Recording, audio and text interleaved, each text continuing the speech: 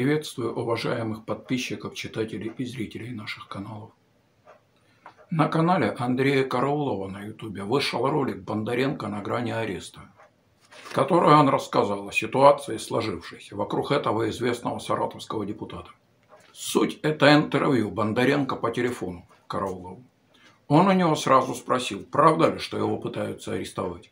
Тот ответил, что на это, во всяком случае, очень похоже – но нужно отметить, что ситуация вокруг его возможного ареста очень своеобразная. Вначале, как он сказал, полиция начала долбить в дверь его кабинета в Думе, но он просто не открыл. Ломать же дверь депутату, как я понял, они решились. Когда он выходил из Думы, к нему опять подошло несколько полицейских. Как он сказал, лучше зачитаю. Опять ко мне бегут. Еле от них отделался.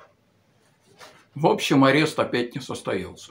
Официальных обвинений ему пока не предъявляли, но он предполагает, что его, как всегда, будут обвинять, тоже цитату лучше зачитаю, в экстремизме, в организации незаконных митингов и в клевете на правоохранительную систему. Самое интересное здесь, на мой взгляд, что попытки его ареста очень напоминают цирк. Его по всему очень хотят арестовать, но не решаются. Караулов спросил, что, на его взгляд, нужно сделать, чтобы не допустить ареста. Тот полагает, что нужно усиливать общественный резонанс, больше рассказывать в СМИ об этих попытках его арестовать. И с ним, полагаю, здесь сложно не согласиться. Ясно, что на него не решаются надеть наручники только по одной причине. Он очень популярный блогер. А значит, арест его может обвернуться против власти. Пожалуй, известное лосиное дело Валерия Арошкина уже обернулась против власти. Но там есть, по крайней мере, хотя бы убийство бедной лосихи. Да еще и осужденное одним из лидеров оппозиции, Николаем Платушкиным. Здесь же ничего, кроме дежурных обвинений представителям оппозиции, в которые давно уже не верит ни один нормальный человек, ничего предъявить нельзя. Вот и происходит, это клоунада. Андрей Караулов предложил ему собрать большую пресс-конференцию, на которой широко обсудить данную ситуацию. Тот согласился с такой постановкой вопроса. Вот как они об этом сказали.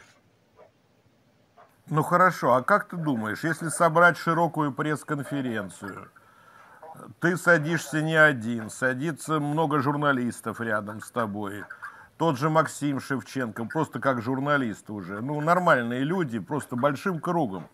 И идет серьезный разговор о том, что происходит в стране как возвращается 1937 год, как любой повод может привести к аресту, любой. Это очень важно. Чем шире сегодня сознательная прогрессивная часть общества, вне зависимости от политических взглядов, идеологических убеждений, будут обсуждать проблемы, причины проблем в нашей стране, тем, э, собственно, больше вероятность у гражданского общества выйти из этих противоречий. Потому что тот э, путь к фашизму семимильными шагами, который сегодня чинит власть, это страшно, это, это невиданно да, для современной России. Дальше Караулов сказал, что, на его взгляд, данную ситуацию породил известный конфликт Бондаренко с Памфиловой. Имеется в виду, когда он показал ее всю в слезах на видео. И теперь ему за это, он полагает, хотят отомстить. Бондаренко на это сказал, что возможно и так, но он думает, что претензии власти к нему не только по этому поводу, а есть и другие поводы. Самое же здесь главное, пожалуй, в том, что Караулов полагает, что Бондаренко из тюрьмы просто может не выйти живым. Не больше и не меньше. И поэтому он считает важно не допустить, чтобы его туда отправили. И на мой взгляд, определенный резон здесь есть. Поскольку власть уже просто не знает, что ей делать с популярными оппозиционерами-блогерами. Я уже не раз говорил, что с позиции ноосферного мировоззрения, убежденным сторонником которого я являюсь, главный признак фашизма – это блокада информации. Это главный признак фашизма по одной единственной причине. Поскольку блокада информации является единственным эффективным оружием против правды.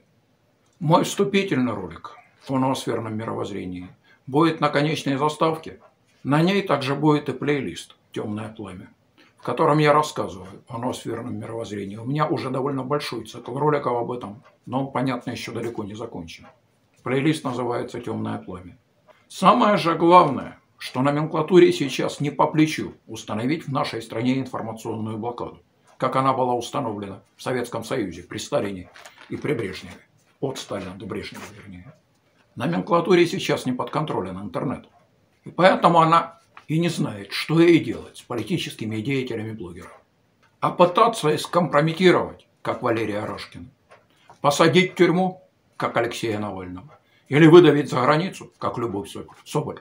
Номенклатуре кругом выходит себе дороже. Рейтинги, что лично Путина, что Единая Россия, даже не просто стремительно падают, а они просто рушатся. А вот рейтинги оппозиционеров, блогеров, напротив, стремительно растут. Раньше бы что Рашкина, что Бондаренко, что Навального, что Соболь просто отлучили бы от прессы и от телевидения.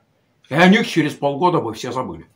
Но если бы это не помогло, то номенклатурная пресса и телевидение в Советском Союзе никакой другой просто не было. Залили бы их информационными помоями с ног до головы. И разоблачить бы эти помои у указанных оппозиционеров, да и у любых других, не получилось бы. Просто потому, что, опять же, доступ к средствам массовой информации был только у номенклатуры. Уже сказал, информационная блокада – это единственное эффективное оружие против правды. И именно поэтому она и главный признак фашизма. Но теперь-то от интернета, указанных политиков, отлучить не получится. И видно уже невооруженным глазом, что номенклатура просто в отчаянии. И именно поэтому она и делает глупость за глупостью. На мой взгляд, опять же, вот это же лосиное дело Рашкина – это очень большая глупость со стороны что лично Путина, что Единой России, что лично Платошкина. Но и ясно, что таких глупостей будет все больше и больше. Равно как и очевидна причина. Номенклатуре сейчас не по силам установить в нашей стране блокаду информации. Что здесь можно сказать? Думаю, что репрессии по надуманным уголовным делам будут все вернее и вернее обворачиваться, что лично против Путина, что против Единой России, что против номенклатуры вообще. И данный процесс будет только нарастать. Если номенклатура, конечно, таки не найдет способ установить цензуру в интернете. Но думаю, это вряд ли. Интернет они уже проспали. Если понравился ролик, ставьте лайки, подписывайтесь на канал, делитесь роликом в социальных сетях и на других ресурсах, пишите комментарии, смотрите мои аналогичные ролики. Какие именно, вы видите на конечных заставках.